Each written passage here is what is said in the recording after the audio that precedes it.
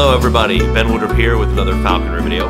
Today's video is about what falconry actually is, but I'm going to go more in depth than that and actually talk about some really important principles that I hope by sharing uh, can actually make a difference in communities beyond just falconry. Now, um, with that being said, I want to say thank you everybody for who who is making suggestions in the comments on new videos.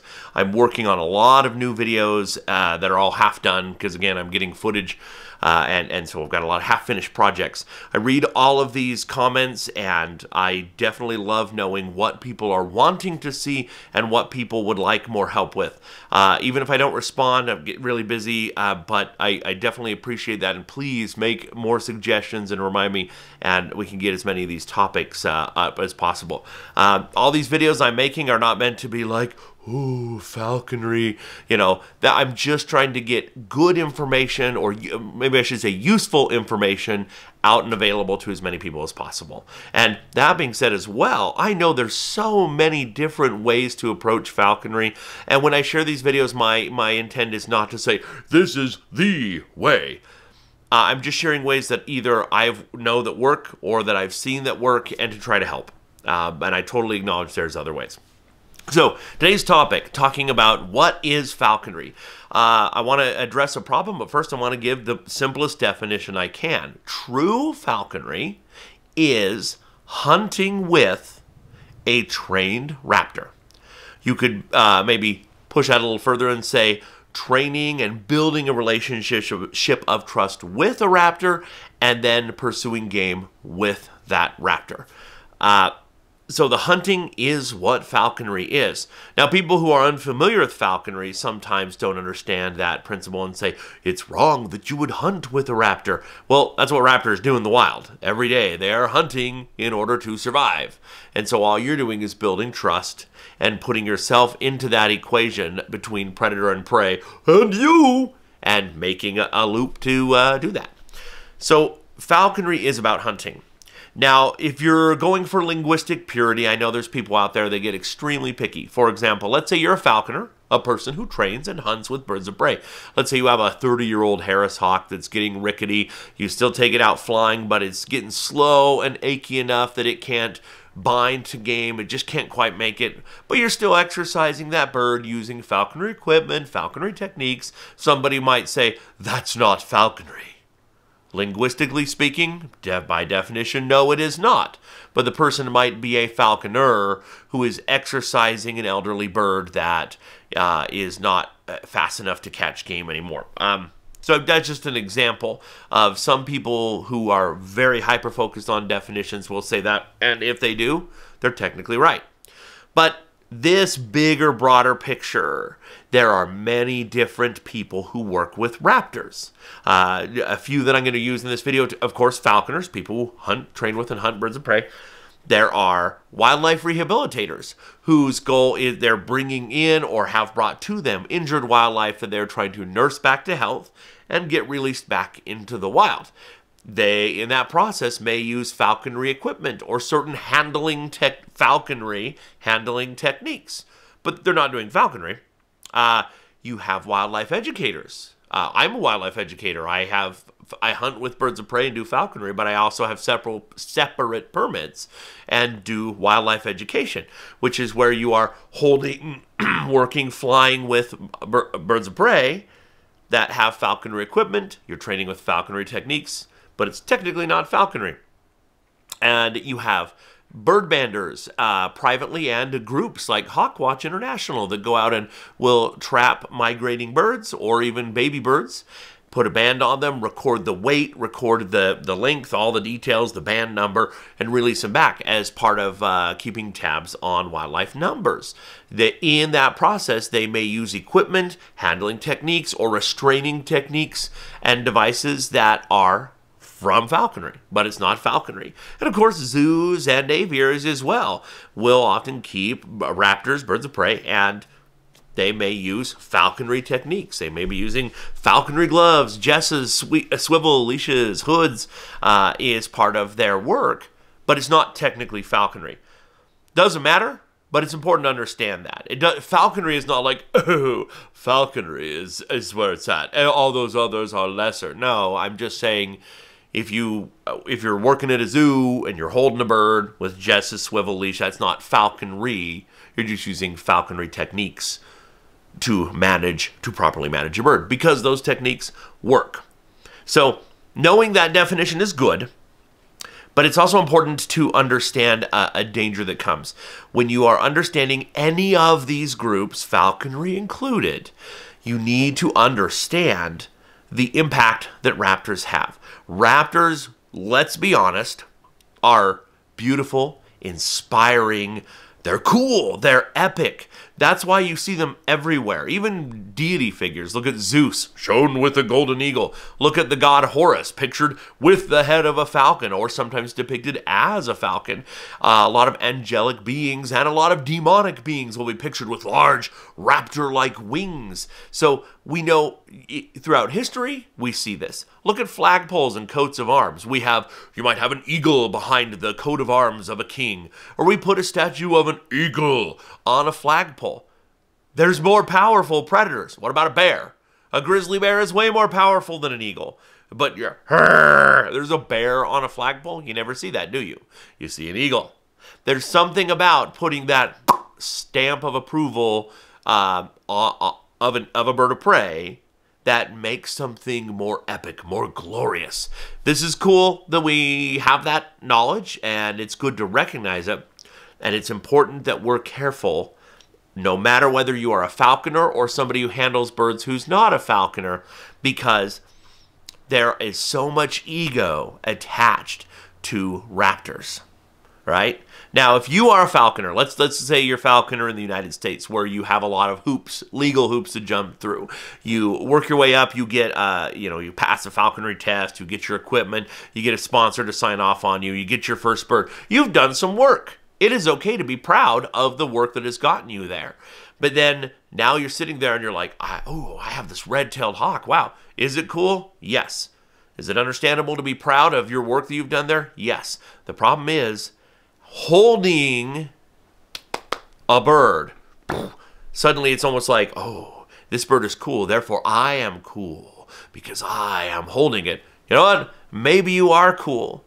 But what happens is this strange psychology, and the best way I can say is go and watch uh, on Netflix uh, Tiger King.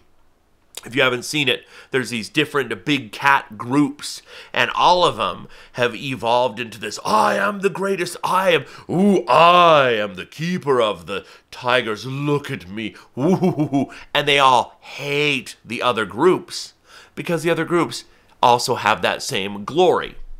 So let me tell you what I tell my falconry apprentices.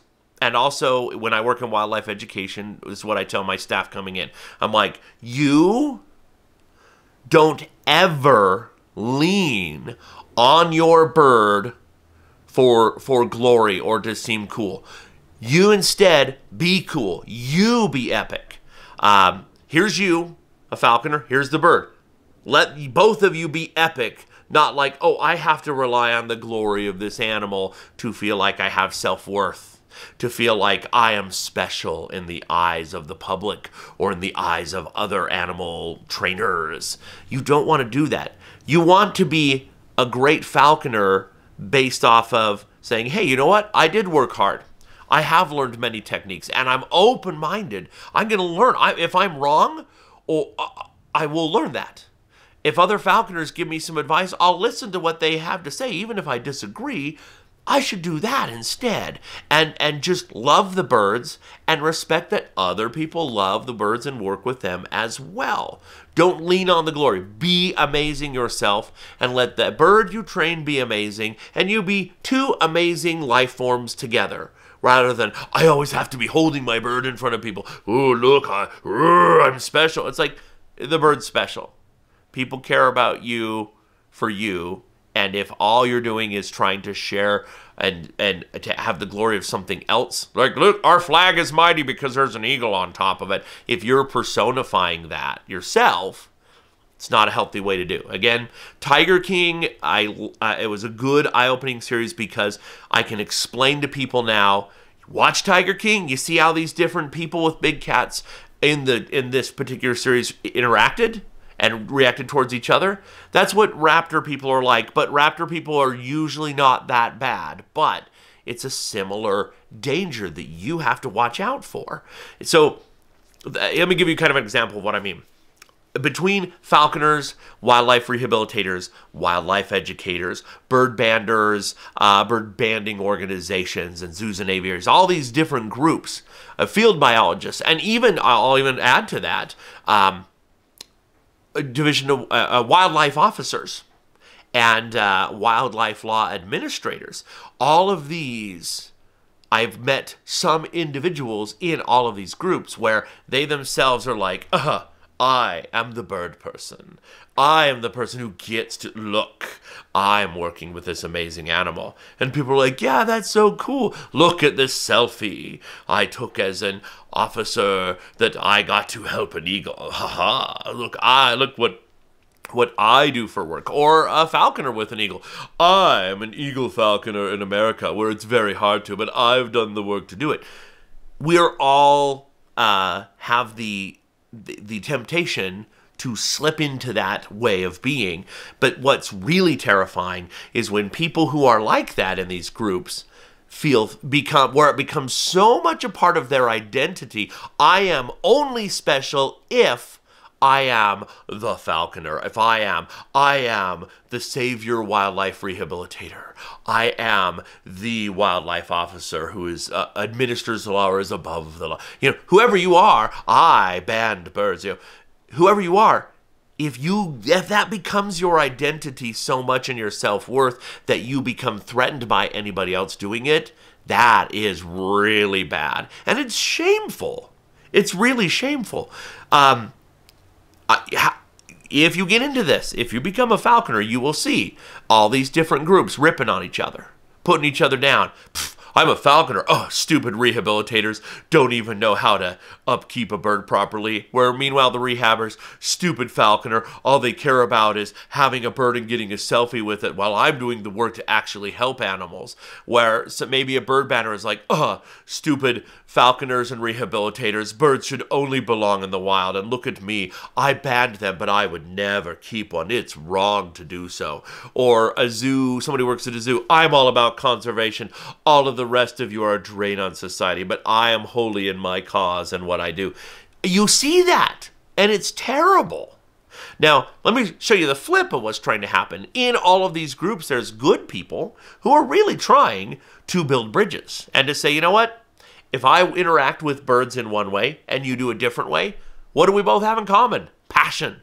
We both love the animals. So why don't we be open up and friendly? Why don't we build each other up and collaborate together? We all care about these animals. Why don't we do so? And I see this. Uh, the, one of my favorite examples currently is falconers and wildlife rehabilitators trying to come together to where a rehabilitator will say, look, and this has been recent legal permission from the government to make this happen, to make this possible. Uh, you have a bird that is, it, the rehabilitator has fixed the wounds or injuries. So bodily, the bird is healed up, but it's weak muscle-wise muscular uh, atrophy has happened and this bird is not in any shape to hunt. And rather than just like, well, we're going to stick a rabbit in its flight pen and see if it kills it, uh, it in many states now, a rehabilitator can say, look, hey, you, falconer, why don't you take this bird for two, three months, train it, exercise it, get it hunting, demonstrate that it conclusively can hunt difficult prey, then give it back to me, the wildlife rehabilitator, and I will go set it free. I think that's wonderful. It's best of both worlds. It's people helping each other out. Uh, we we no matter what your reason for getting into this, it's good to have an understanding of that. That people who are in a different field than you but still are working with birds of prey, with raptors, have passion as well. Respect their passion. Try to build friendships and build bridges, even if you don't agree with everything everybody does in a certain way. Build those bridges, and we can accomplish so much more together. Now, another another very important point about that is now that I've been doing this enough years that I've witnessed people get into working with and handling raptors through whatever they are exposed to but that may not be the field that is best for them. For example, you're an animal lover, you meet a falconer somewhere, you get talking, you're like, wow, I could work with with with raptors. Wow. You end up getting your falconry license, but it turned because you met a falconer, that was your first introduction. But you know what? Maybe it turns out what you would have enjoyed more and be better suited for is going and volunteering for a wildlife rehabilitator and eventually becoming a rehabber yourself. Or maybe you got interested in birds of prey and you were volunteering for Hawkwatch and you're doing a banding station, helping trap migrating sharp-shinned hawks, handle them, uh, band them, record them, set them free. But you really want something more. You want to build a more of a relationship. And turns out falconry is a better avenue for you to fly and hunt with and see this more in action. Or maybe the opposite. Maybe you get into falconry and you love having some close contact with raptors, but you'd be better to go volunteer for Hawkwatch. And like, you know, few weekends a year I go and volunteer at a banding station and I get to see birds of prey up close. I get to handle them for a couple of minutes and that's enough for me. I don't actually have the time or patience right now in my life to be able to actually care full time for a raptor and falconry. So the that please remember that if you're watching this video because you're interested, I have had a number of apprentices this way that they got into falconry, they flew a bird for a year or two years, and then realized they would rather volunteer for a wildlife rehabilitator or get into education. And I've helped them on that way. I'm like, let me here's some other people you can meet and go on that journey and it's been much better for them and uh, keep that in mind i think it's re that's really crucial um, so Again, remember, true falconry is hunting with a trained raptor. Plain and simple, that is what it is. It is about hunting. It is about getting your bird to have as close to a wild experience as possible in terms of flight time and pursuing game. That is the goal of falconry.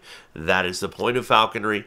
That is what it is. And that is also why in the United States, why it is regulated by the U.S. Fish and Wildlife Service that regulates hunting instead of being regulated by the Department of Agriculture, which does things more like pets and domesticated animals and agricultural animals. That's the reason why, because it is a hunting sport. Now, you can evolve. I have known people who got into falconry because they were a young kid and they're like, wow, it'll be so cool to have a hawk. And then they evolve, they mature as they learn what is expected and they eventually become great falconers. Um, uh, you have people who get into it for wrong reasons. I want to look cool in front of my friends. I'm a little socially awkward, but I have a passion for animals, and animals are a way that I can live life deeply and richly and be unique in front of my peers. And so it's, it's kind of a shallow, legitimate but shallow reason. And then again, after a year or two in, they evolve that depth and understand yes, this is about hunting, this is about flying, this is not about seeming special in a selfie photo. So, um, things can change, things, people can evolve and adapt, but it always ask yourself, what am I doing falconry for? And if you are getting into it and you've started, remember, that is your goal, is to hunt with your bird, not just keep your bird and have it look pretty on a fist. That's that's not what falconry is at all. And if that's the direction you're feeling, perhaps it's wiser to get in a different field where you can also work with raptors. So my I hope that this video does not sound preachy. I have for years now worked as hard as I can to build bridges with all of these different groups, to uh, especially between falconers and rehabilitators. When I got into it when I was young, it seemed every falconer and every wildlife rehabilitator were just like hated each other's guts out. And I'm like, why? I don't understand. We all love birds of prey. We all want to help them. We all want to uh, preserve their numbers and conserve them in the wild. So what's the what's the problem here? So please try to be friendly, try to be open-minded, if you are in any of these groups, Falconer or otherwise, please always remember that people in these other groups are passionate as well. And instead of uh, spreading hate, instead of spreading bitterness or anger or false things, um, try not to. Try to actually learn firsthand. Talk to somebody from one of these other groups. Ask them, why do you love birds of prey? What got you into this? What what what what are you most passionate about in these fields? And we can make more connections that way. So I hope this video is useful to you. Uh, please check out my other videos and feel free to subscribe. It really helps me build up the channel. And as always, happy hawking.